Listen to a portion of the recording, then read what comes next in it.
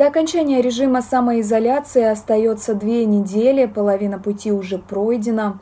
О том, как химчане переживают карантин, расскажет моя коллега Нина Бережная. Спасибо, Алена. Да, действительно, сейчас все химки находятся на самоизоляции, люди выходят из своих квартир.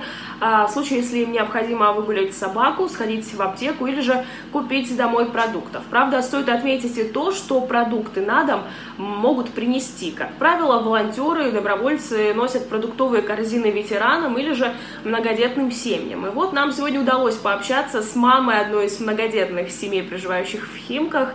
Анна, здравствуйте. Спасибо большое за то, что согласились с нами пообщаться. Расскажите, пожалуйста, сколько у вас детей? У меня пять детей. Старшему Ивану 14 лет, он учится в восьмом классе. Второму ребенку, Владимиру, 9 лет, он учится во втором классе.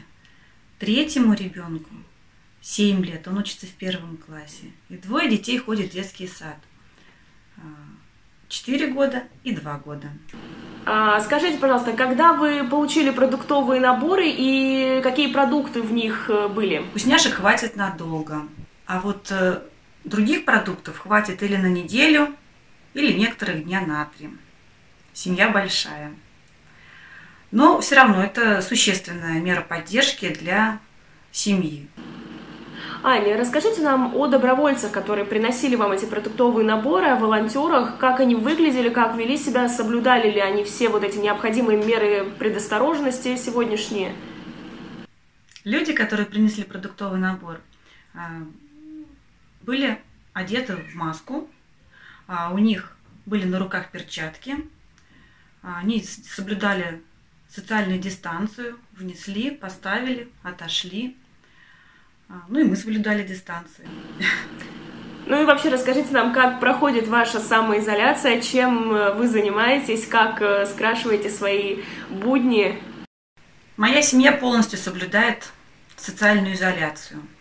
У меня пятеро детей, у меня мама, которой э, неблагополучный букет. Это сахарный диабет, гипертония, поэтому мы ее бережем. А, на улицу мы не выходим. Выходили несколько раз за продуктами. Покупали хлеб, молоко. Ну и э, первым делом, когда закончится карантин, что сделаете вы с вашими детьми?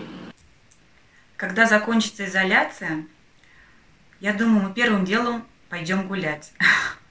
Пойдем гулять в парк или поедем в лес, или уедем к родителям на дачу куда-нибудь далеко и на свежий воздух.